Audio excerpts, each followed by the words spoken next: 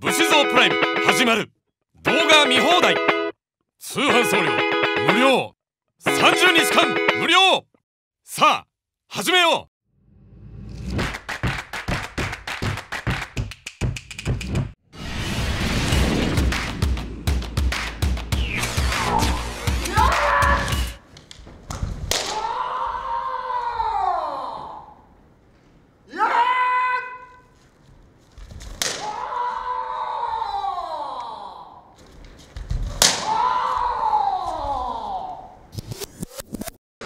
最近見どころ時が多いんで、はい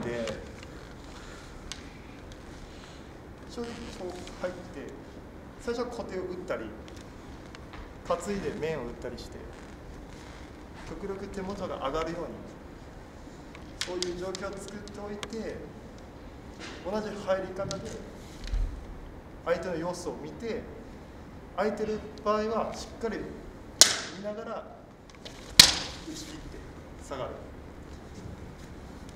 ただ相手の手元が浮く場合が小さい場合小さかったら打てないんでそういう時やっぱり返しで動いたり、ここでどの状況にも打って動ける。そういう体作りを注意してます、近い場合、相手も入ってきたら近いんでここだったら通常こう打つんで物打ち当たらないんで、はい。そういう時だけ左手を少し引きながらしっかり物打ちで当たるようにはい。引きながら打ちますはい。遠い場合は下がった場合は今度右手を前に出して左手を支え左手の支えを十分して引き抜きますはい。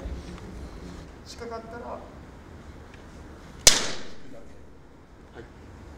遠い場合は左手を出して。